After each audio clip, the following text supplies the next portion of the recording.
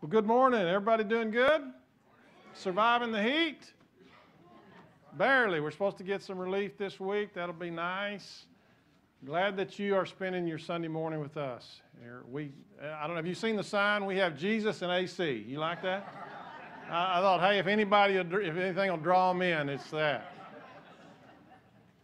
Uh, if you are a visitor with us this morning, we are especially glad that you're here. Um, there is a blue card in the seat pocket in front of you. I Invite you, that's there for you. and invite you to fill that out and let us know you were here. Um, you do not have to do that, but we would love to know you were here and love to know, uh, get to know you better. There, you, if you would, when you, if you fill that out, just leave it in your seat there. Don't put it back in the pocket because sometimes we have trouble seeing those. We, uh, this morning I went into the office and, and we had found another one that had been put in the deal that we would have normally gotten on Monday. So we'll be getting uh, in touch with that person. But uh, just put it in the seat pocket there, or the, uh, put it in the seat as you leave today, not in the pocket. All right. Turn with me, if you would, to Daniel 3. Daniel 3. It's not often we turn to Daniel, but we're going to Daniel today. Anybody get a chance from my email? Anybody get a chance to read Daniel 3 this weekend? All right, me and you, Jim. it's okay. It's all right. We'll read some of it today. So we're going to start in, in uh, verse 13, Daniel 3.13. But before we go there, I want to I want to kind of set this up. Um, there is a king, Nebuchadnezzar, and he's a bad dude, okay? And he, uh, this is kind of just a summary, but uh, there's four four Jews that are kind of at the center of, of much of the story of, of Daniel. Daniel, Shadrach, Meshach, and Abednego. You've probably heard those names, but uh, we're going to read about Shadrach, Meshach, and Abednego. But what has happened, Nebuchadnezzar had, had set up an idol that, and he, and he instructed everybody in the kingdom that is, when you hear the music play, you're to hit your knees and worship this idol. And uh, Shadrach, Meshach, and Abednego, we're going we're going to learn about that. They said no, they would not do it. So we pick it up in verse 13. Furious with rage, Nebuchadnezzar summoned Shadrach, Meshach, and Abednego. So these men were brought before the king, and Nebuchadnezzar said to them, Is it true, Shadrach, Meshach, and Abednego, that you do not serve uh, my gods or worship the image of gold I have set up? Now, when you hear the sound of the horn, the flute, the zither, I believe, zith, zither, zither. Okay. Uh, anybody know how to play one of those? All right. Uh, lyre, harp, pipes, and all kinds of music. If you are ready to fall down and worship the image I made, very good. But if you do not worship it, notice it, you will be thrown immediately into a blazing furnace. Then, I love the, this, listen to this arrogant statement. Then, what God will be able to rescue you from my hand? Shadrach, Meshach, and Abednego replied to the king, O Nebuchadnezzar, we do not need to defend ourselves before you in this matter. If we are thrown into the blazing furnace, the God we serve is able to save us from it, and he will rescue us from your hand. O king, but even if he does not, we want you to know, O king, that we will not serve your gods or worship the image of gold you have set up. Can I please hear an amen? amen? Then Nebuchadnezzar was furious with Shadrach, Meshach, and Abednego, and his attitude toward them changed.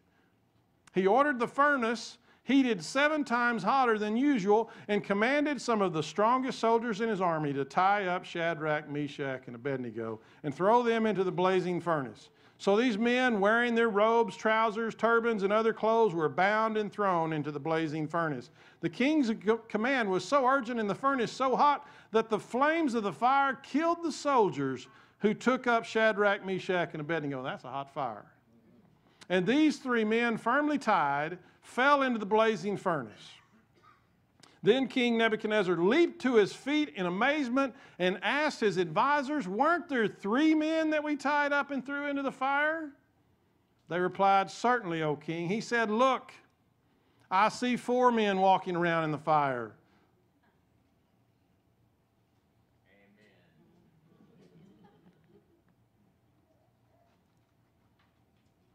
I see four men walking around in the fire, unbound and unharmed, and the fourth looks like a son of the gods. Nebuchadnezzar then approached the opening of the blazing furnace and shouted, Shadrach, Meshach, and Abednego, servants of the Most High God, come out, come here. So Shadrach, Meshach, and Abednego came out of the fire, and the satraps and prefects and governors and royal advisers crowded around them. They saw that the fire had not harmed their bodies, nor was a hair of their heads singed. Their robes were not scorched, and there was no smell of fire on them. Amen. Then Nebuchadnezzar said, Praise be to the God of Shadrach, Meshach, and Abednego, who has sent his angel and rescued his servants. They trusted him and defied the king's command and were willing to give up their lives rather than serve or worship any God except their own God. Therefore, you remember what, what you do when you see the word therefore? You go back and see what it's there for. Because of their faithfulness. Therefore, I decree that the people of any nation or language who say anything against the God of Shadrach, Meshach, and Abednego be cut into pieces, and their houses be turned into piles of rubble, and no other God can save in this way. Then the king promoted Shadrach, Meshach, and Abednego in the province, province of Babylon. Let's pray. Come, Holy Spirit.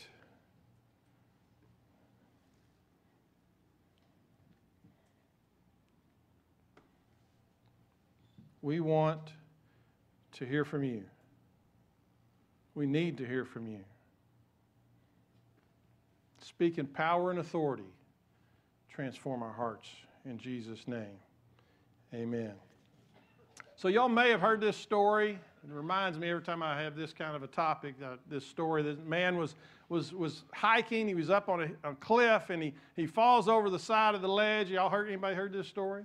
Falls over the side of the ledge and he, he grabs a hold of this little bush that's sticking out of the side of the ledge and he's hanging on for dear life and he's and, and he begins to panic and he looks down and, and, and he's got several hundred feet of a drop below him and he's, and he's clinging to this uh, this little bush hanging out on the side of the cliff. And he begins to cry. He begins to shout out, Is there anybody up there? In silence.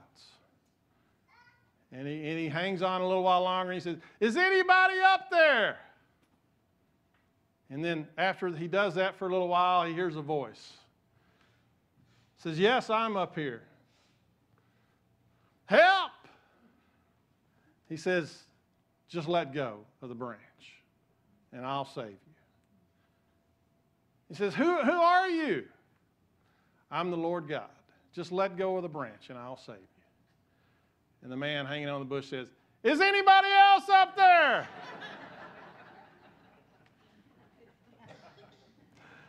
okay, it's a bad joke. Okay, Robert.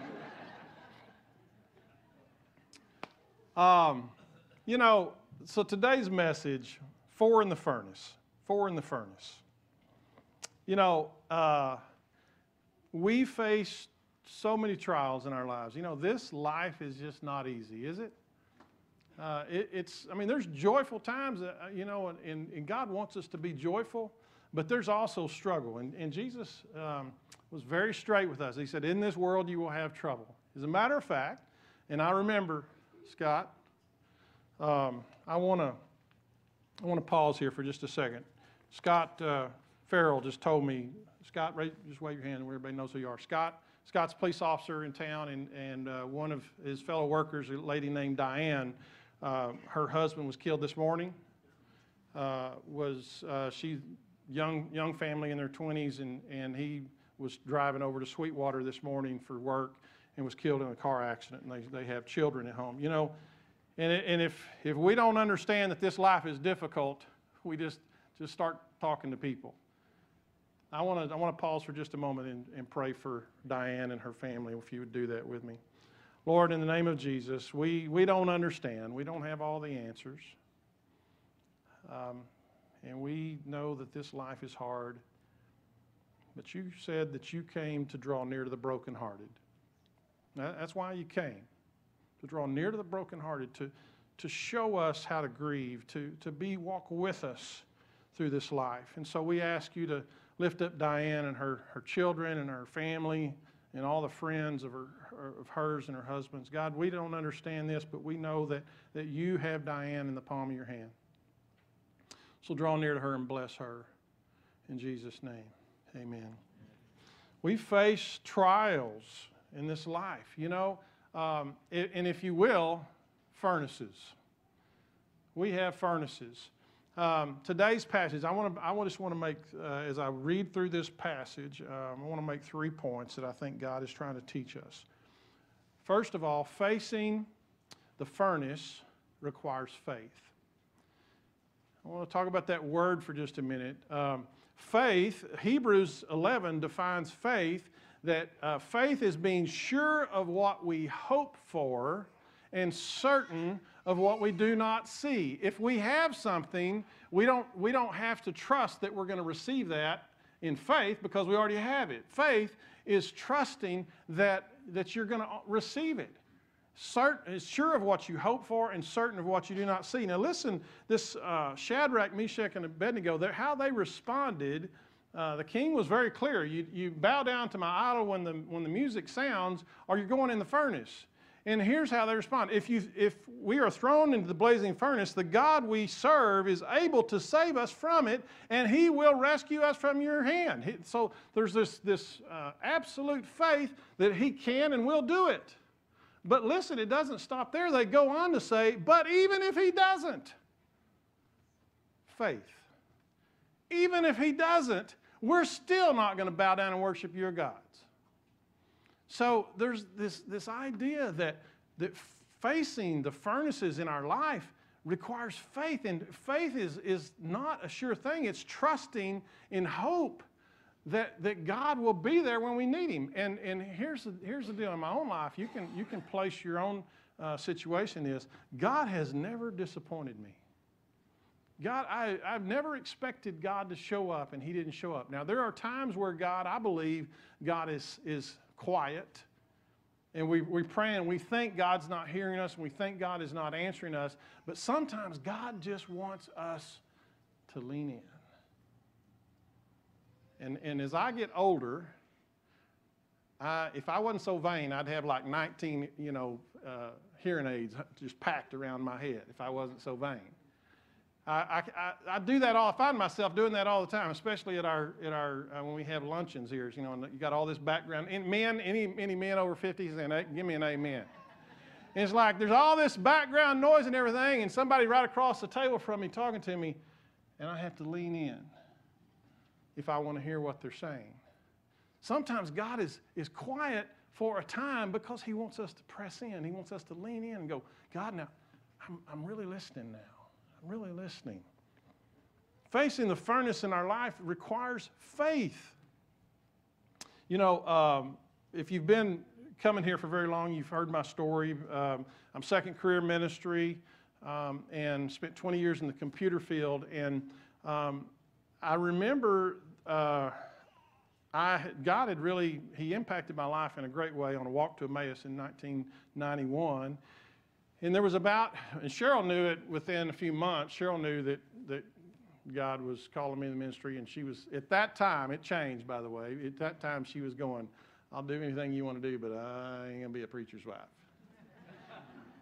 God, God had a way. He worked on, he worked on her. He got her in a headlock, and he kind of scobbed her knob a little bit and worked her over. But but I didn't, she came to me with that, and I was like, what? I don't even know what you're talking about. But, but a, year or two later, I began to feel that, that call in my own life. And I remember uh, being in the computer field, I, as people would call me and they would need help with their computer, I'd go and I'd help them with their computer. But in, in essence, I really wanted to minister to them. I, I started finding myself having a heart. It's like, hey, we're gonna have a we're gonna have prayer time at noon today over in the chapel. You need to you need to come and, and be a part of that. And so I've just had that, that pastor's heart even while I was still there. And I remember Cheryl and I had been praying about it, and at that point she knew uh, what God was calling. She was on board at that time, and um, uh, we both just decided that um, God would show us when. He would show us when. And, you know, I'd built 20 years, I'd built this career that kind of had some, I thought, had some security in it and everything. And, I, and we just waiting, waiting upon God's timing. And one day, my, the president of our company called me into the office, which was rare. I mean, I hardly ever talked to this gentleman. He called me in the office. He said, Jeff, you're a good employee, and we love having you here, and love for you to be here, but you need to decide if you want to be here or not. And, and, and I guess it was showing. I guess it was showing. And he said, You need to, I want you to take the weekend, talk to your wife, and let me know Monday if you want to be here. So we, I went home and we prayed and we talked, and, and we just felt like God was. I, I told her, I said, I can't go back, and I'll be lying to the man to tell him I want to be there. God would not put me in a circumstance to have to lie to somebody just because they had a paycheck. So we knew it was the time, and everybody else and thought, except for my mom and dad, my mom and dad were, you probably were freaking out when, you, when I wasn't around, but they, they were supporting me. But um, most people thought we'd lost our mind, but I went back in on Monday and I just said, I, I, can't tell you I want to be here because I really don't. So the, I didn't know what the future held, but I knew God held the future. And I knew He, he was calling us to this time. And, and it takes faith to, to step in when, when you don't know what's, what lays in front of you. It takes faith to take that step and a trust and you got and i just knew god god had, he just was had been so good to me and my family and i just trusted him. I just trusted him. Secondly from this passage today we can learn that god is always present in the furnace with you. And we uh, i love and you heard me get emotional as i as i read that because in my own life i've been in the furnace and and and god's been with me and I know many of you have, have gone through much more stuff than, than I ever have. But I've been in a few furnaces, and I have always had God with me, walking around in the furnace with me. You know, so when, when, I, when I left that computer, the security of that computer career, and there, I'm, I'm thinking, in, in all honesty, I just thought, hey, we're, God said do it, we did it, and these, all these doors are going to start flinging open. But God, he knew that I needed, I needed a little few, few rough edges chipped off. I still do, by the way. But he knew that he was, he was still molding me. And, and there was a, a couple of years there where th- I had some jobs, uh, that ministry jobs, that I, opportunities that I thought were going to happen that kept falling through. And I, and man, financially, we're just like going, okay, God, you know, I mean, where are you? And it was really getting crazy. And I was really scared and I was getting angry. And I remember, and I've told you all this before, but uh, we lived a few blocks over here, and I told Cheryl one day I'm going for a jog, and she just that right there told you know I could have told her I'm going to, you know, jump off a two-story building. She wouldn't have been more surprised. I said I'm I, I just got to go run. I got to do something. To I just got to do something. So I started running, and I actually ran right out here on this track. It was at, at night and I was running on this little walkway path. And I remember I was just scolding God. You, did you know God loves us enough to let us, so we, He lets us scold Him? He should have just zapped me right there. He should have just squashed me like a bug. But God allowed me to scold Him because He loves me. And I'm just like, God, I trusted you. I've put my family at risk. Where are you? And man, I was just giving it to him, and it was right out here under these trees. And I just felt the presence of God so strongly, and God just spoke to my heart, and He said, Jeff, I'm breaking you. I'm breaking you. I'm, I'm molding you into the man I want you to be. And He said, I want you to know that I'm all you've got. I'm all you've got, but I'm trustworthy. And, and, I, and I remember just saying, okay, God, don't leave anything undone. Finish the job. Don't, don't, don't pull me out of this too soon. I, I, want the, the fire to, to do with me what you want to do. And not long after that, some things began to break that I'll tell you. Third thing that we can learn today, today's passage teaches us that time in the furnace endured in faith. We can all go through furnaces, but we don't always endure them in faith. But endured in faith produces maturity and fruit. And we saw in this passage today that um, I love that that um, Shadrach, Meshach, and Abednego. Do you think? Do you think that was an easy thing? We just read over it in scriptures like, oh yeah, they just said, hey, you know, God will save us, just chunk us on in there. I mean, don't you know that they were scared, scared half to death?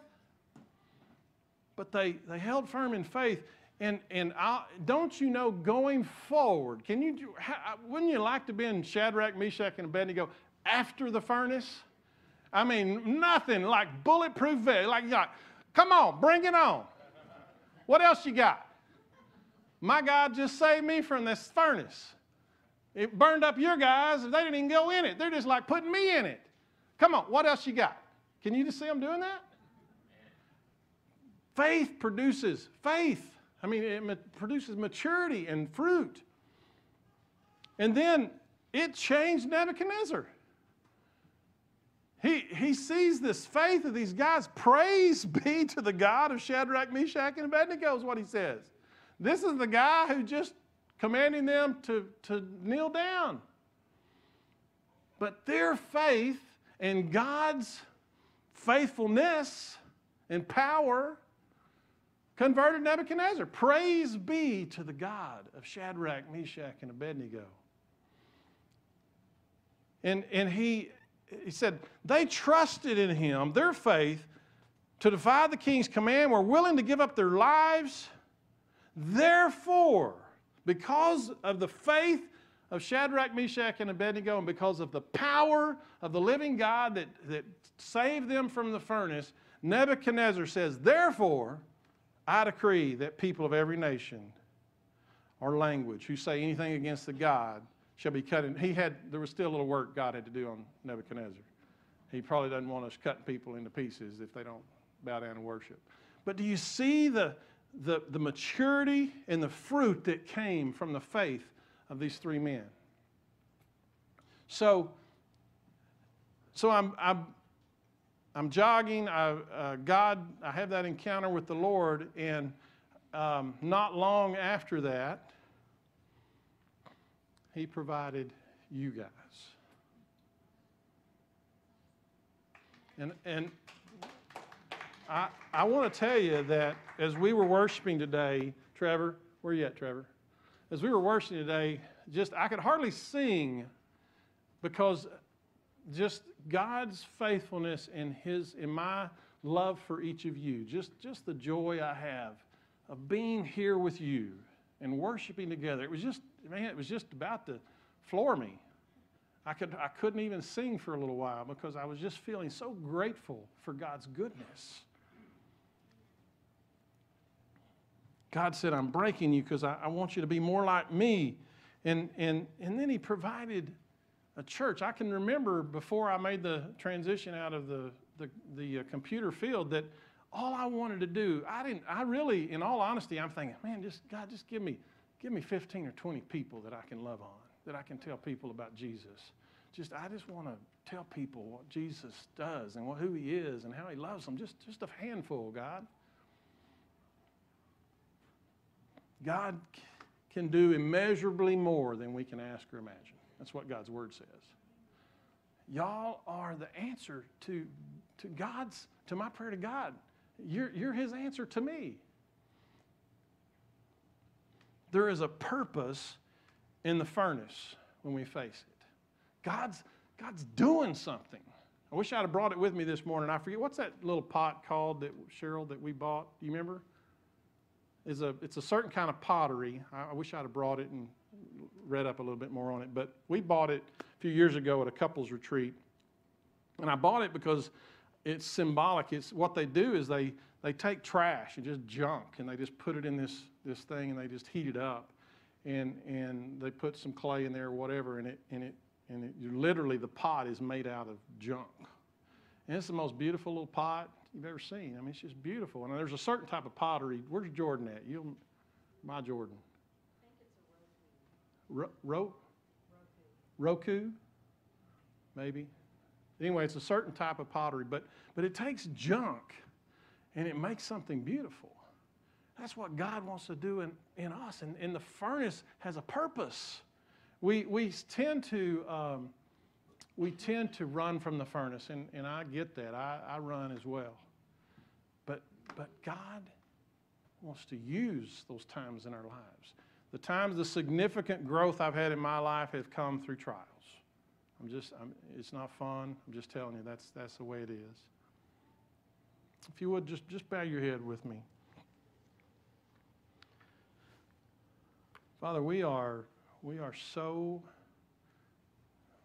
thankful and so blown away that you would actually be in the furnace with us. You, you could be this God that stands back and just instructs us, and, but you walk with us. And quite frankly, you suffer with us. And we're grateful, we're thankful. Help us to be like Shadrach, Meshach, and Abednego, this, these, these men that trusted you with all our hearts, even when, when it looked bleak, when things don't look good. Help us be bold and, and be able to stand up for you, not for our self interest and not, not on, you know, always, you know, our world. You know, we're always, Lord, we're worried about well, I have the right to do this and I have the right to do that. But let us stand up for you, for what's right in you. And let us bring you glory. We love you, God. We're, we're honored that you loved us first. In Jesus' name, amen. Hi, this is Pastor Jeff Hatcher with Wylie United Methodist Church in Abilene, Texas. I want to thank you for listening to this, uh, this message from God's Word today. I want to remind you that you have a Savior. His name is Jesus Christ, and He came to set you free. He came to heal the brokenhearted. He did that by hanging on a cross in our place. If you have never accepted Jesus Christ as your Lord and Savior, I want to, I want to invite you to do that today. If you want to do that, just pray this prayer with me. Father, uh, I repent of my sins. I confess to you that I am a sinner. I ask Jesus Christ to come into my heart, to free me from my sin, to, to be my Savior and my Lord. Uh, help me to be creation that you have, have created me to be. In Jesus' name, amen. If you prayed that prayer today for the first time, I want to ask you to do four things.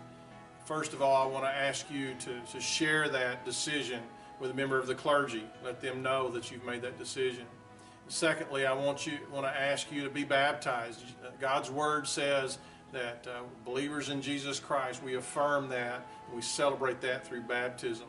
And thirdly, I want to ask you to begin to read God's word, to get into his word, not just because uh, we think that that makes us good, but because this is the word of life. And finally, to, to find a Bible believing and preaching church to be a part of. If you've made that decision, I also welcome uh, a conversation with you. You can reach me at jhatcher at wyliemethodist.org, and I'd be happy to come along your side in that journey.